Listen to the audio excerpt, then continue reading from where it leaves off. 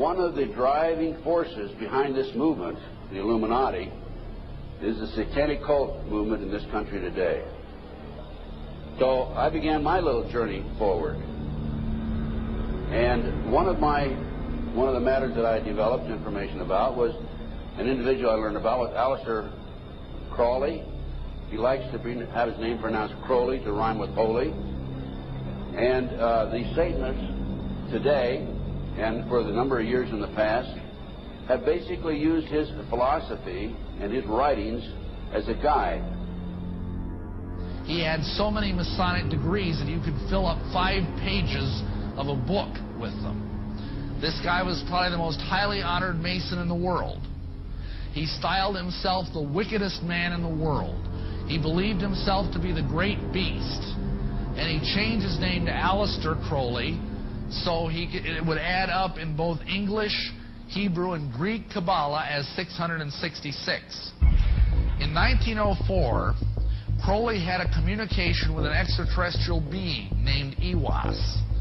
And this being, through his wife, kind of a channeling type operation, brought forth a book that was called the Book of the Law in 1904.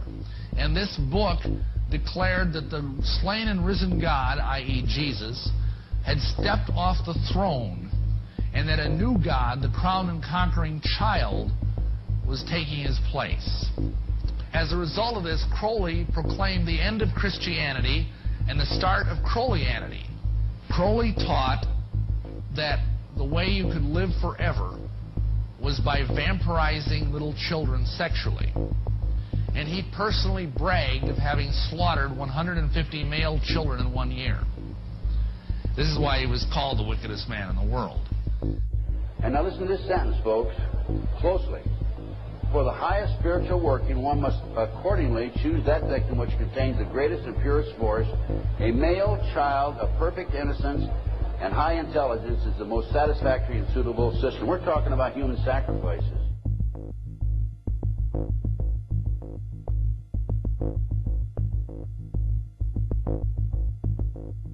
And they'd also drug them up. And they'd take a sacrificial knife and they'd start from the chest and move all the way down to your abdomen. And then that's how they sacrificed. And they'd collect the blood and they'd drink it. Um, when the mid-September through um, mid-November, they sacrifice babies and nothing but babies because they need the pure blood of the untainted children. And I was really I didn't understand what it was like. I just can't believe I'm seeing this every every year of my life. I've experienced that, and I was that was the hardest part for me. Is like hearing those babies literally scream and cry, and then seeing their blood flow. The little boy was taken to a basement. He was crucified alive. First, he was skinned. Why is it that no one knows this? Because there's Satanists in the police force and also in the government, the army, they're everywhere. They're even on the council of yeah, the represent representatives of the United States also. And they're silenced because this is not being exposed because they don't want it to be exposed. Because they're really good at lying and hiding things. Rebecca, what happens to the people that want to come out of Satanism? They get killed. They get followed, they get taken, they get sacrificed in front of the congregation of the Satanic Church. Why? because they know too much information about the Satanists and who their names and places of where they keep the people underground and they just know too much information. There's no it's like um, being in a gang or in a mafia. You don't get out alive without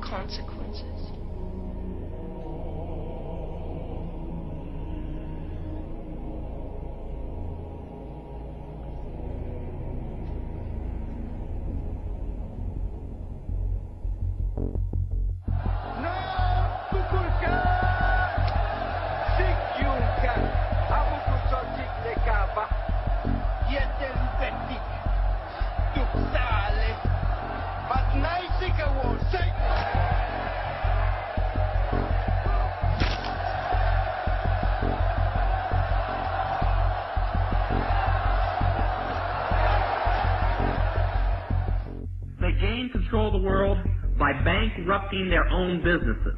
The Illuminati owns most, I would say 99 and 9 tenths of the stores that you walk into and shop and the gas stations you go to. And they are going to destroy them on purpose. And the idea of taking over is to bankrupt the whole world where nothing is of any value and the currency does not exist anywhere and then come back and solve all the problems.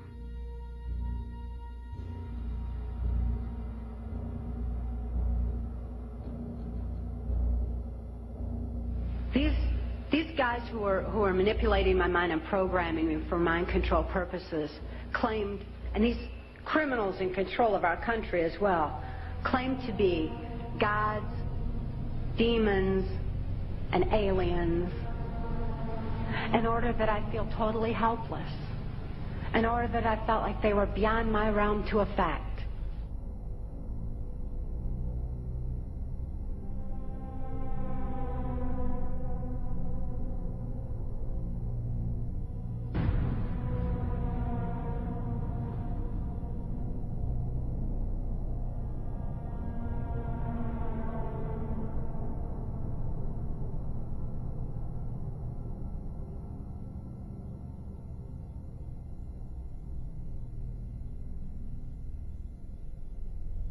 Why do they keep the aliens in a Faraday shielded environment? Because they have a tendency to disappear right through walls. And if you can prevent the transmission of electromagnetic energy, you can stop them from doing it. Then this, the medium said, we have a very special surprise tonight for you people. A spirit will manifest itself openly here in a few minutes and right through the wall.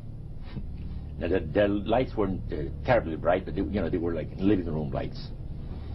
Uh, a couple of floor lamps, and maybe some of these, and that uh, translucent being seemed to come right out of the wall. How did you feel right at that moment? It's almost like my heart stopped a little bit. Okay. You know, very weird feeling. So it was a lady in a beautiful evening gown, floorling. And she said to Mary, My dear sister, you are so wonderful to have asked for me.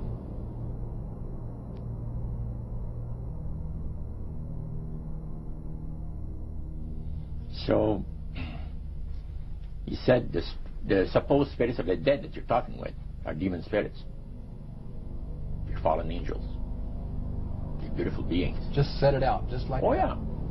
It didn't make you uneasy when he said they were Well, just you know, it shocked you a little bit, you know, something that you first hear uh, uh, mentioned to you. He said, uh, you guys have got a great future ahead of you. Because we've been told, the high priest of our society, secret society, has been told that the master has very special plans for you to Now, what did he mean by the master? uh, Satan. He said that she was made successful in her singing career by a dear friend of hers that was the same age as she and died when she was 18 years of age. And uh, Loretta was trying to get into the, the singing world, you know, but it, it, it would, she says, I had no success at all. Until one night I was sitting in bed reading a book. And she says, who walks right through the wall but my, my friend? the spirit of my friend. And she says, Loretta, I'm going to make you a very famous person in singing Western uh, country music, and I will be with you all the time. She said, her voice went through me, the power. See? And you saw this in a television documentary? Yeah. yeah. This was, I believe, 1976 it took place. Now, the priest explained that when people believe in this business, they are actually opening themselves to be completely deceived by demon spirits. Because it gives the demon spirits an opportunity to impersonate the dead. See? And for people to believe their lies.